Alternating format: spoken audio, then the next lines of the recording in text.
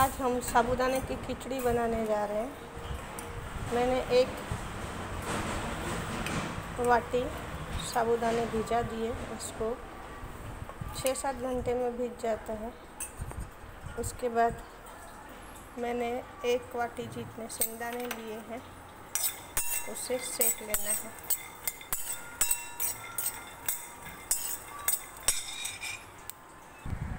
सिंगदाने ठंडे होने के बाद हमने उसे इस तरह से ग्राइंड किया है। आधा आधा, थोड़ा थोड़ा देर उसको करके इस तरह कुरकुरा सा सिंगदाने का चूरा बनाया। इसे अब हम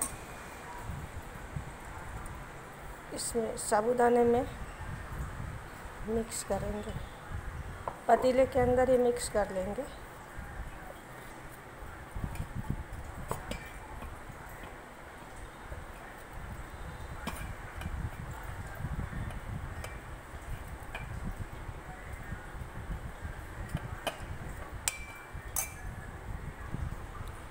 हम इसी में एक चम्मच जितना नमक मिला देंगे। आप नमक अपने स्वाद के अनुसार डाल सकते हैं। और इसे फिर, अब हमने एक कढ़ाई ले ली। उसमें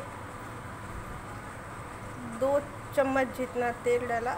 अप्रॉक्सी थोड़ा कम, थोड़ा ज़्यादा कुछ फ़र्क नहीं गिरता है। उसमें हमने जीरा थोड़ा अच्छे से डाला। नियर अबाउट इतना, एक चम्मच जितना जीरा डाला। और हमने ये बारीक मिर्च काट के रखी है। दो से तीन मिर्च बारीक बारीक काट के रखी है। यह जीरा होने के बाद हम इसमें डाल देंगे। अभी फ्रेंड्स नवरात्रि चल रही है। इसलिए मैं सुधा किचन से सुधा शाह यह रेसिपी लेके आई हूँ। और उपवास में सबसे ज़्यादा खाए जाने वाली चीज़ यही है। मिर्ची अच्छे से भूननी है हमने।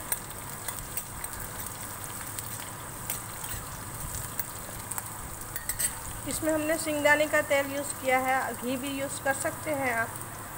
हमारी मिर्ची भुन गई है। मिर्ची का कलर चेंज नहीं होने देना है। तभी हमने साबुदाने का जो मिक्सचर बना के रखा है, सिंगदाने और नमक के साथ, वो इसमें डाल देंगे। ये साबुदाने की खिचड़ी नीचे वो ना हो, इसलिए चलाते रहनी है। और मोटे तले का ही आपने कढ़ाई लेनी है। देखिए, एकदम हमारी खुली खुली सी बन गई है खिचड़ी। ज़रा भी चिपकी नहीं है।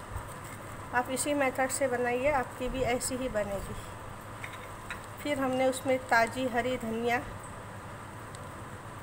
डाली है और थोड़ी सी शक्कर डाली है। शक्कर ऑप्शनल है, आप डालना चाहे तो ही डालिए। मैंने थोड़ा आधा चम्मच शक्कर भी डाला है।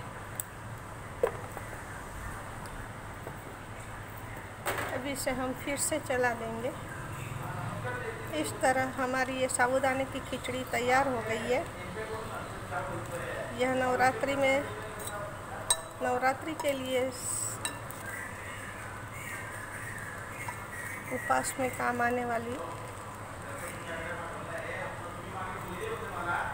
काम आने वाला एक नाश्ता एक रेसिपी है।